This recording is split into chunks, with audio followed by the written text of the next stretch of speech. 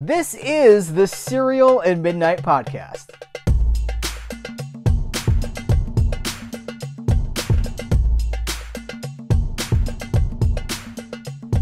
Howdy, guys. Welcome to the Cereal at Midnight podcast. My name is Heath Holland, and you know I'm excited about this one because I'm talking to Jason and Sean Mendelson. They are the sons of Lee Mendelson, a name that we all know from the Charlie Brown, the Peanuts, uh, holiday specials. So much more than the holiday specials, but we're specifically talking about one of the holiday specials in this episode. It's the 50th anniversary of a Charlie Brown Thanksgiving.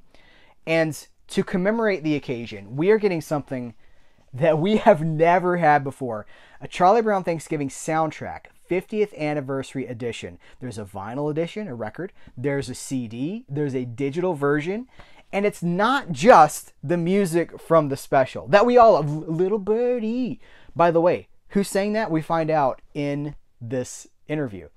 Uh, there is the music that we all know and love, right? This is so much more than that because what you learn and what you're going to hear about in this conversation is like in the specials itself, the special of Charlie Brown Thanksgiving and all the others, the music is so far pushed to the back. It's been leveled so that the drums aren't very loud. You don't hear bass really at all. But this is Vince Guaraldi, jazz legend Vince Guaraldi, who wrote the Peanuts theme, who wrote all this music that we're still talking about 50 years and beyond in the case of like, you know, Charlie Brown Christmas. Uh, more than 50 years, this music has been rooted in our culture. So recently, we're going to hear this story, but I'm kind of queuing it up. I'm teasing you a little bit because I want you to get excited about it. Uh, the the master tapes were recently discovered for this session and other sessions too. So what does that mean? It means we get to hear this music mixed in a way like we've never heard before. So the, the drums are no longer down at like a two out of 10. Now the drums are level with everything else. The bass is level with everything else. The clavinet, you know, we talk like in, in his liner notes, Sean, uh, who's got such a, a, a, music background associated with music foundations, music education. Uh, he talks in his liner notes about how Stevie Wonder had had a hit, you know, the clavinet, like Superstition, on the clavinet. That's you know that machine, that that keyboard instrument. So Guaraldi brings it into the studio, and he, he's here's what we need to know. So Vince Guaraldi was getting a little bit older at the time of a Charlie Brown Thanksgiving. So he taps young funk and jazz musicians from the Bay Area to be his band. And so it brings out a whole different dynamic. This soundtrack sounds nothing like any other Charlie Brown soundtrack. It's funky, man. It is so funky. And especially now that we get to hear it like it was recorded. You know, I'm a music nerd. I'm such a music fan. This blows my mind. Just to picture, picture me for, with my wife. Go listen to this. Listen, listen to the bass. Listen to how, how funky that, that, that tasty that bass jam is that's how excited I got about this stuff. So we get to hear the whole inside story. Uh, Jason is an Emmy winner and the CEO of the company that's that's preserving the legacy of his father and all of these Charlie Brown specials and the the, the many Charlie Brown specials specials across the decades. Uh, and uh, and Sean is again a music. He's so deeply rooted in music and music education. This is a huge get for Cereal at Midnight that they would come here talk about this soundtrack, discovering it, what they did with it, the legacy of it. This is huge. So uh, I'm excited about it. I want you to hear it. I can't wait for you to hear it. So hey, without further ado, Jason and Sean Mendelson. First, so I uh, last week I interviewed uh, Mark Evanier, who worked oh, on. Oh, fantastic! so he was. It was. But it was before we got started with the interview, and he was like, uh, Lee Mendelson was great, and I was like, it's funny that you bring that up because I have an opportunity to his sons, and he was like, you tell them that Mark Evanier said that Lee Mendelson is one of the best people I ever worked with. Well, so fantastic. For a long period there in the 90s, maybe even earlier than that, whenever we'd go down to LA, because we were big into comic books too. And so whenever we'd go down, we'd beg our father to take us over to Mark's because he has this amazing collection. And we get to see all his comic books and we get to hang out with him. He when I used to host Comic Con events and MC them, he would teach. He's like, take the water bottles off the stage before you go up there so they get off so you can get on. He trained me on all things related to everything about that and has been a friend for my whole life. And he was the great, he is the greatest writer and he did all the Garfield stuff. And so the feeling is the, incredibly mutual. The, the funniest, the funniest uh, guy I think we ever came encounter with uh, in our in our dad's professional career. He was always very funny and very endearing. So I'm glad you got to meet him He's No, great. I admire him so much just because even if we just looked at like the animation work alone, what he's achieved, but then you look at comics and you look at stuff he did with Jack. Kirby and like the Oh, yeah. the preservation of everything, like telling the story being so I told him I was like, you know, you're kind of like an archivist. You're kind of like the the keeper of the like he's telling the story. He's keeping the story alive. He's like a connection between audiences now and what happened uh, 50 years ago. Yep. And he knows all the people, all the voice actors, all the animators, all everybody involved, and all the comic strip guys and all the cartoonists. And yeah, he's the best. So Yeah. And our other thing we'll tell you in advance is where our uncle is Eddie Muller, who's the czar of noir. So you got that front as well. it's our Is mom's he brother. really? I didn't know Yes. that. So he's, you know, he is. We we have lots of um, stewards of history in our circle here, and now we're hoping to be do some of that ourselves. So That's awesome. Well, so okay, so here that opens the door for my question. This is the big Oprah question, okay? So we know what we know what the Charlie Brown, what the Peanut specials mean in the music, what it means to so many different people across multiple generations. You guys came up on the inside of that, so I wonder if you have the same kind of experience. I mean, eh, Jason, you you did voices, right? I mean, you're actually in some of these things. Are you able to see them the way other people see them? I'll go first. I, I think that I am because the great thing about Peanuts is that it's for everybody. It it goes across all the generations, all ideologies. It's really just about children trying to find their place in the world. And as a child who got to play some of the characters, and Sean did too, we both got to voice some of the characters. It was really easy to perform those lines because you could empathize with them. You could understand what these kids were going through and the you know growing up with it it's it's funny because for us charles schulz was one of our dad's best friends and they happened to work together but whenever we were together it would either be going to his ice rink in santa rosa or playing tennis or just talking about life and then they would put these great shows together and then you know schulz would write a show and then uh, Bill Melendez would go and animate it. And then once that was starting, we would go off with our dad and record some of the voices for these lines. But the disconnect was it's all done over a long period of time. And our part as children as voice actors is done in a recording studio away from all of that. So we didn't see it till it was done. And that might be six months, seven, eight months later that you'd see it on TV. And again, because we were from Northern California, nobody cared like nobody cared that we did these things or that Yeah. this was part of our life. It was just you know it was weird that i couldn't go to parties on the weekend because i was recording voices. But for the most part it was just part of what we did. And and i'll tell you that the great thing for us and i'll let sean throw some his experiences in here too was when i was about 10 years old i'd already done some of the voices. My dad was doing the first ever animated miniseries. This is america charlie brown which is an eight part miniseries with the characters and we spent the summer before that was put together going to the Smithsonian and all the different museums and all the different American historical places to do research for these characters. And like everything with Charlie Brown, one of the great things, one of the serendipitous things that happened is we walked into the museum, the American History Museum in DC, and on the wall was a the picture blown up strip of Lucy holding the football for Charlie Brown. And we were like, Did you know we were coming? They're like, No, this is just what we're doing. So everywhere you go, Charlie Brown was always omnipresent and part of the culture.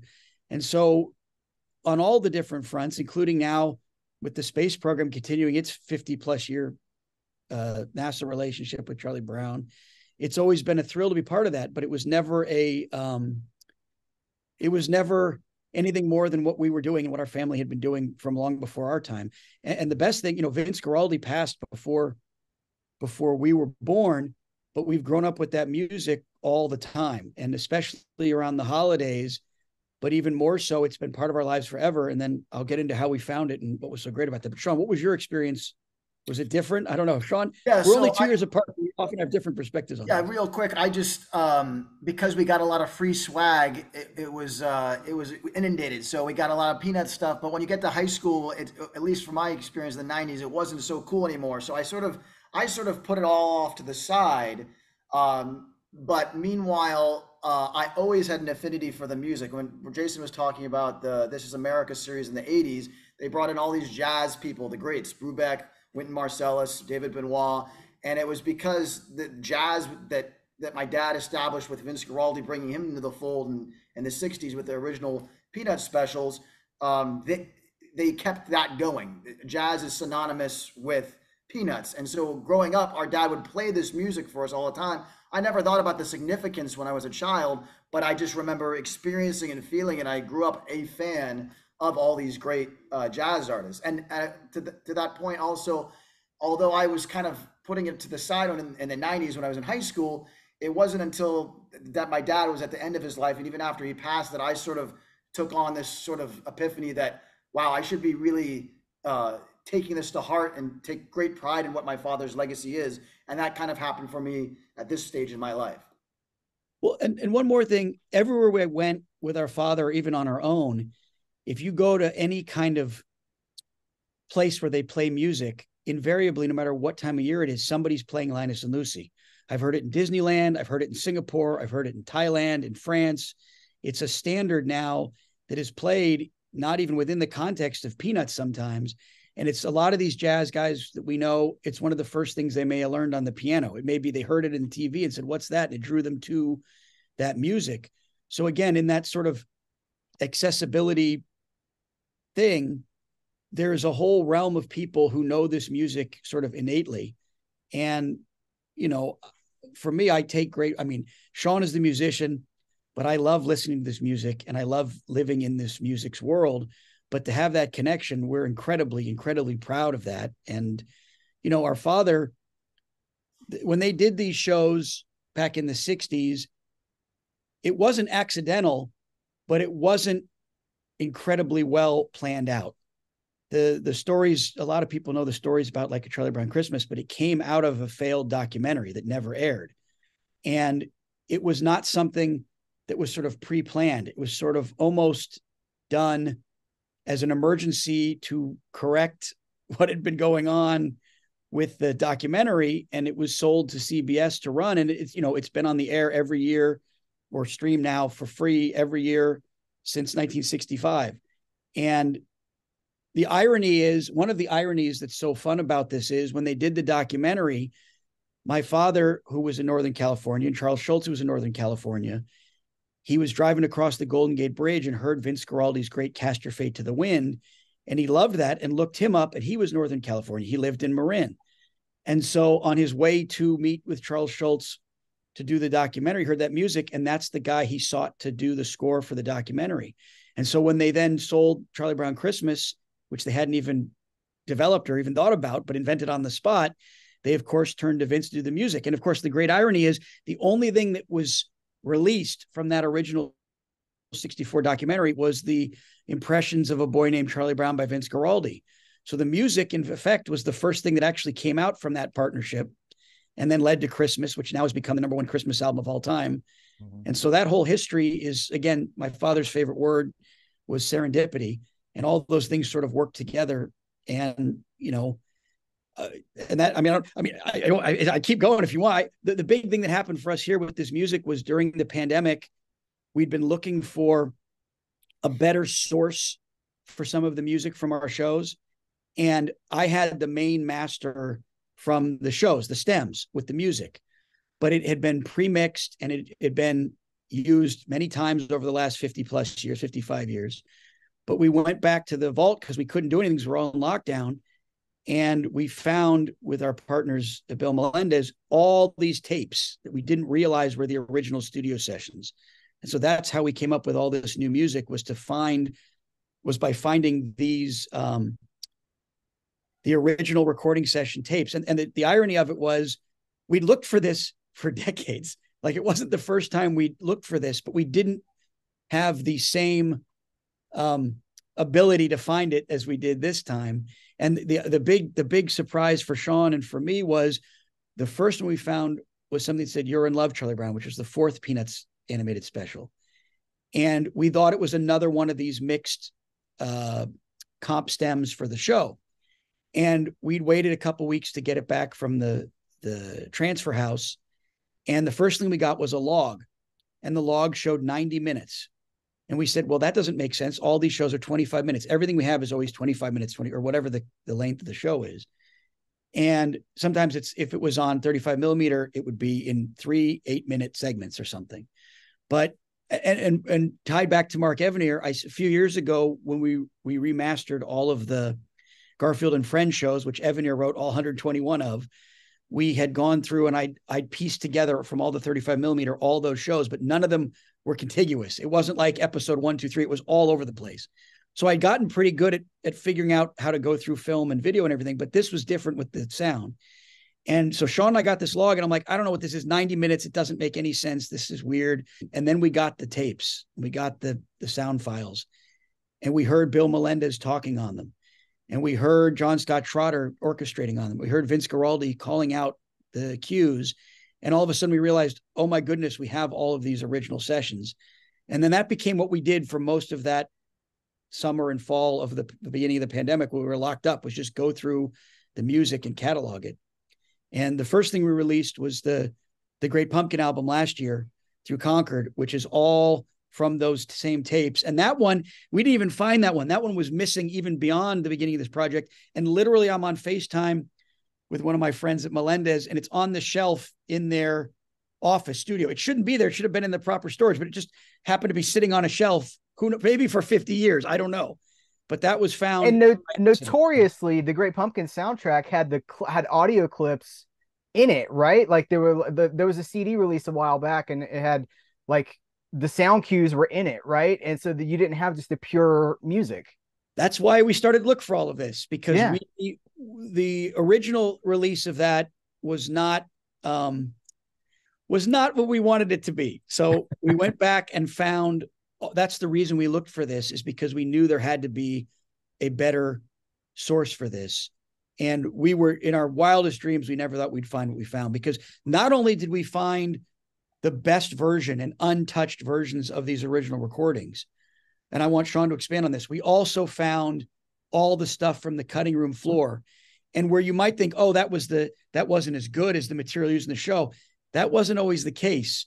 Back in 66, on some of these, they would record and they needed to hit a minute and three seconds. And maybe they went a minute and eight, but they couldn't think, oh, we have no way to, there wasn't digital manipulation. This all done analog. There was no way they were going to be using that minute eight. So they did it again and they did it again. And then they finally had a minute six. But maybe that minute eight's the best version anybody's ever heard, but that was never released or even knew existed. How much remastering was done? Because I'm going to tell you, when I hit play on this, I've heard these songs, I don't even know how many times, right? My whole life. When I hit play, I was like, whoa. I mean, it's like, it's right up there in the front. It's like you're at the front row of a jazz concert or something. Man, the drums are tight. How much remastering did you guys do on these? The on for Charlie Brown Thanksgiving, it is from the original studio sessions, and our entire mandate was to take how it would sound on the show, but bring it where it's in the front. It's not underneath the dialogue and effects. We did not mess with anything on the first. How many tracks is it, Sean? for Thanksgiving. The 13, first, the first 13. So the 13 tracks on the album are the cues from the show, exactly how it is in the show, except you don't hear it buried. It's not monoed underneath the dialogue and effects. It's in full effect, but we did not manipulate or mess with it in any way on those because our goal is to bring what Guaraldi intended from the beginning, but nobody's ever heard it because they didn't have these sources. So it is it is a it's a we uh, Vincent Hudson did the remastering with us on all of these, and it is it is wonderful because for those shows they were recorded in stereo sessions, so it's also never been in stereo. But we didn't manipulate any of that. We took those as purely as they were and put them on the record.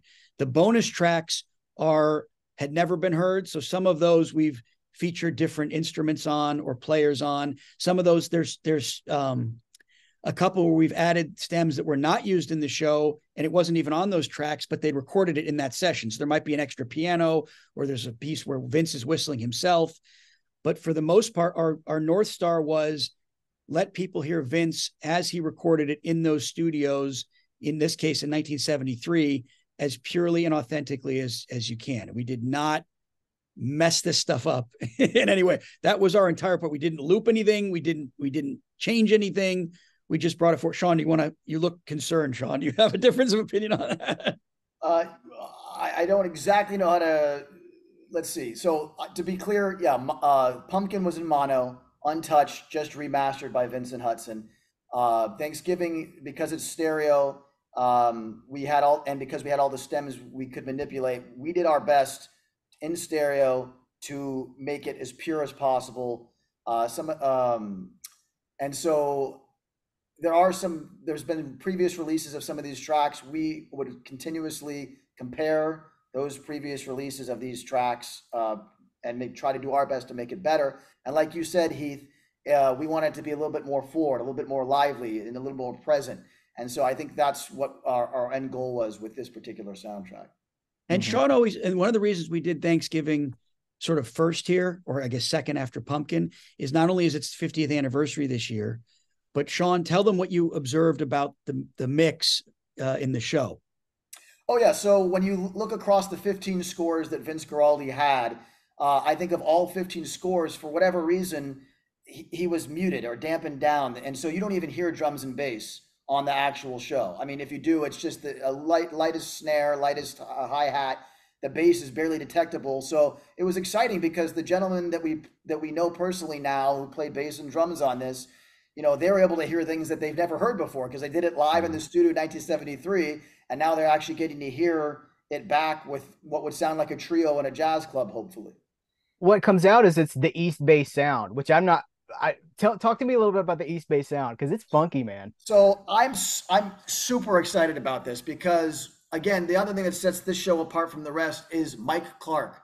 Mike Clark had already toured with Guaraldi in the late '60s and he brought in, uh, along with the gentleman David Garibaldi, the drummer from Tower of Power, some of the origins of funk music and and basically the patterns, the breakbeat patterns, if you will. They call it popcorning on the hi hat.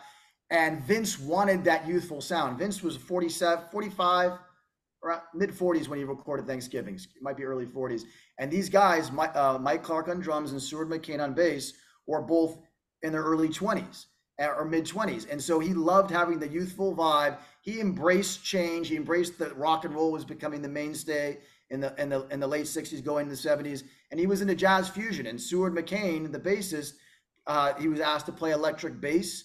And so that in combination with Mike Clark's uh, funky stuff, you hear it in the studio and even on this that track called Clark and Guaraldi, it's it's very much specifically that sound coming out of the East Bay and the Bay Area. I love all the clavinet stuff, and in your liner notes, which are excellent, by the way, great liner I notes. I really appreciate that, Heath. That's really yeah. Cool. No, you know what you're talking about, and you're like you connect, like you, you bring up Stevie Wonder and like what's going on there, and it, yeah. it does have this. It's got this very distinct, funky, alive, vibrant sound, and it's and like in some ways, it's a shame that you don't really get to hear that in the special, but then it, it totally would have changed the special, right? I mean, like it would have, it would have been a lot funkier for sure, but um it's it's given it new life. And so i don't know it's almost like it's almost like we have a new a new recording but it's not new. It was there all along which is why i'm so amazed by all of this. That's it man. That's exactly that's how i that's exactly how i felt when i first jason i first heard it you're in love and all these soundtracks. This stuff is and it's not background music. Most of the specials i would say are melodic accessible front forward melodies that he he perfectly bridged what was pop sensible melodies with a jazz harmonious thing. And and it's you're absolutely right. It's like oh there's this drum pattern. And that's why we love on the bonus tracks. You hear in the studio that thanksgiving interlude. It's like a 30 second interlude. And you hear them go from the standard traditional jazz swing all the way up to what ended up being the show which was a funkier east bay sound thing. Mm-hmm. and it, it's so cool that hearing the stories from Mike Clark, how Vince kept saying, "Yeah, yeah, more of that East Bay East Bay sound. We got to do that while they're in the studio." So it's neat. And what what's so great and what's been so um, fun about this for for Sean and for me has been Guaraldi was this great genius musician and a great genius composer, and he wrote that Christmas music, which is the most. I mean, there's like twenty five thousand covers of Christmas Time is here, and and the album is it's doing better than ever. It's like been on Billboard's top whatever the last several years, every year. And that music he wrote, it's waltz. It's not Christmas, but it's become the Christmas music, right? A lot of his music has become so heard and understood. And it's there's again, there's very few lyrics on these songs. The, the, I, the, one of the great things on Thanksgiving is you get Little Birdie, which is Vince singing. Nobody knows it's Vince singing. It's on the show, but nobody knows that. He only sang two songs that he in this in his whole. I mean, for Peanuts, it's Joe Cool, which is was in You're Not Elected, and in uh, No Time for Love, and then um, Little Birdie here for Woodstock, who's introduced in the show. He was great at it. He only did it twice. He did these 15 shows. You know, when he did the soundtrack with Rod McKuen for the A Boy Named Charlie Brown, which I think is on the wall here somewhere, poster for the the first Peanuts feature film. They were nominated for an Oscar for sound score. They lost to the Beatles. I mean, but they never, you know, it was just it was on TV and they did their thing. And he passed so young. But our hope is that we bring this music back to people where they can hear how great it was both in its time and how great it still is and that's what makes this so fun is all of this music is a tale of that time too in 65 you get his his early jazz tied into this waltz and this uh, latin thing going on. And as it evolves into the six, late 60s he gets more comfortable with the cues for these characters and giving them voice. And in the 70s he like sean said he starts getting into more experimental stuff and synthesizers. He brings in younger players to learn from what's going on in the bay area in that period of time when music is not jazz and changing directions. And what does he take from that? And that evolves all the way through it's arbor day which is the last show he scored where he's doing even more experimental things. So what'll be fun when this is done is letting people hear all this stuff that they've heard because it's been on tv for 50 plus years but now they're going to hear this music without those other things going on and take from that what they will. But some of these songs i mean i i was always partial to peppermint patty which is a cue he wrote for that character. I wonder why. Maybe you're in love. voiced her. Well, that, I don't know. I mean, that might be the bias because I did voice oh, her, but I also just think it's a great song. And Sean discovered as we went through this that was the most used composition once he did that after Linus and Lucy across all those shows. But I don't think people know that the song Peppermint Patty. They would if they heard it, but it's not something they're familiar with. And it's great in this show. He just does a little touch of it in here. We put mm-hmm. a bonus of it in here too. But again, he wrote all this great music. He did it every year. The, the, the four we, we talk about the four, not the four horsemen, but the four gentlemen that worked on this. Charles Schulz was such a great philosopher and cartoonist and person and business person too that whatever he did was left untouched. So his power of his strip let these shows be made where they didn't mess with our father as the producer they Bill Melendez animated, did whatever he wanted to do with these characters and made them come to life. And Vince Guaraldi got to do whatever he wanted to do with the music because the four of them worked so well together for their whole careers that there was never any. I mean, I'm sure they had some friction, but at least the family history is that they always worked together and had the freedom to do what they wanted. So Vince did all of this music that came out of his soul to create these pieces for these characters and these stories. And it is beautiful. And it's, you know, ubiquitous and timeless. So at least that's what we think. That's why we're trying to get this music out there. well, I, I agree with you. One of the great things you can hear on the soundtrack is, I think it's on Thanksgiving, but it'll be on another one we release if it's not, is sometimes I heard Vince talking on the piano mic where he's saying something about the song, where he's like, play it this way or do something. And I'm like, oh, we got to be able to edit that out, right? And you can't because that's on the piano mic and I realize, oh, well, how did it get on the show? And you go and listen to the show and you turn it up and you go, oh, it's on the show. All of that stuff is still in the show. It's just in the mix or it's under dialogue where you don't hear it. But part of what made this so special is things that we've heard that might have been maybe they're even mistakes or they're just variations or there's a change in rhythm that maybe not intentional you go oh that that can't be right. You go no that was on the show. And because it's jazz it works because it's organic and it's living and it's moving. And so part of the fun of this was we'd hear something go that wasn't how i remember that song. And then you go back oh that is how it is. That's how it is on the special. But you didn't hear it for whatever reason until it was isolated in the music alone. So part of that of the joy of this is hearing all that and realizing how fantastic and real and unmanipulated it is. I mean, it's all live performed by these great musicians and gives life to these characters and to these shows. So that part was great. I wanted to share that too. right. Is there anything left in the vaults after this? You know, I, there's, you talk about the discovering these tapes. Is there a possibility for in, I don't know what form it would take, but is there anything left after this? Oh, yes.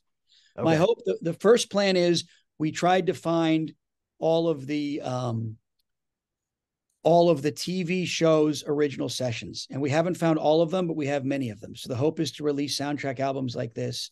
There's also other music in the vaults that we're going to go to. Vince Guaraldi scored a bunch of our father's documentaries. Our father was best known for producing the Peanut specials and the Garfield specials, but his his main gig was he did documentaries, two or three every year, network specials, um, and some of those were scored by Guaraldi as well. So we're trying to just piece as much of this together as we can.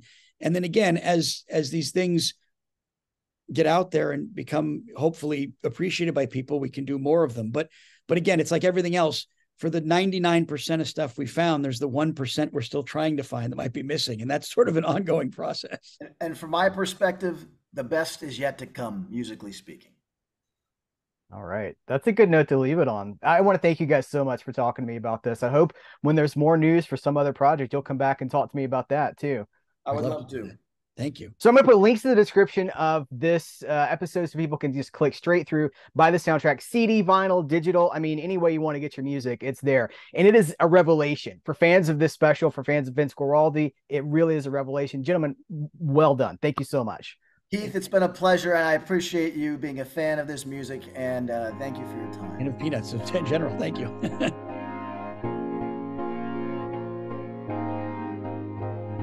Isn't it amazing? Don't you just want to go listen to some of this music? The, the downside of like podcasts and YouTube and the places that I will put this episode is that I don't have liberty or permission to put some of those songs into the episode so I could be like, oh, let's hear 15 seconds of Little Birdie so we can hear Guaraldi. We didn't know it was Guaraldi singing that song, so we can hear Guaraldi. And here's an alternate take where he whistles instead of sings.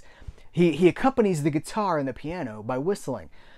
Stuff we've never heard before, and I can't do that. That's I don't have there's no license for me to do that. Even if I had permission, I think YouTube would shut it down.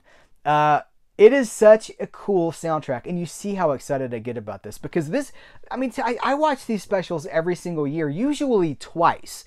I usually watch the the Halloween, Thanksgiving, and Christmas specials twice every year. I'll watch them at the beginning of the month to kind of get myself in the mood, and then I watch them on the night of the holiday.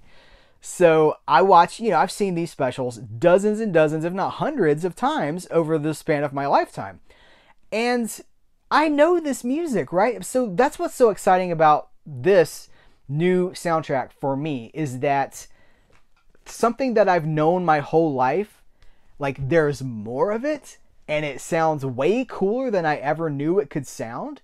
And I mean, you heard, right? You saw the interview. You heard the interview. That it sounds cooler than they thought it could sound too. When they discovered this stuff, it was a mind blowing moment. So, what can you do? You can support this soundtrack. You can get it on whatever format you want to pick it up on. You can get the vinyl or the record, as we called it back in the day. You get the record. You can get the uh, the CD soundtrack. You can get the digital. I will note that the vinyl soundtrack has every single track that's on the CD and the digital version. Sometimes vinyl versions have less because it's a limited. There's only so many minutes you can put on a record, right? Uh, but the, everything's here. It's complete. Everything that's on the other versions are on the vinyl, including all of the alternate takes, all of the uh, the variations. It's it's great. I cannot recommend this to you guys enough. So support it. That's what you can do. You can support this release and that votes for more stuff like this to come because we know like it sounds like maybe there's maybe more stuff that was discovered that we could get to hear at some point. Uh, fingers crossed. Uh, fingers crossed and knock on wood. Here's what else you can do to support Cereal at Midnight is you can engage with this. However, you're if you're listening to this in a podcast form, you can do the uh, you can review us on iTunes or wherever else you are catching this podcast. If you're watching this on YouTube, you can do thumbs ups, you can engage in the comments, you can like, you, you can subscribe. Subscribe everywhere. Subscribe on uh, the audio feed and on the video feed. That encourages basically visibility. Uh, and I want to thank you for doing that. And you can also support Cereal at Midnight in other ways. There are YouTube memberships, there's Patreon support. Anything that you can do to support Cereal at Midnight, uh, I would really appreciate it. It's so hard to get noticed. And with something like this, which is a really big deal interview, I want as many people as possible to see it. I don't want this to be a secret. I want this to be everywhere because this is awesome. Uh, and you guys are awesome too. So thanks for being here. I got so many listen, I'm doing two and three interviews a week right now. There is this is a hot time for for interviews. I'm, they're they're coming left and right. So stay tuned. There's a lot of stuff that's going to be hitting over the next few weeks, the coming weeks, the coming months. Uh, just let's let's enjoy it. This is such a great time to be a fan of things. So I appreciate you. Take care. Till next time, I will catch you later.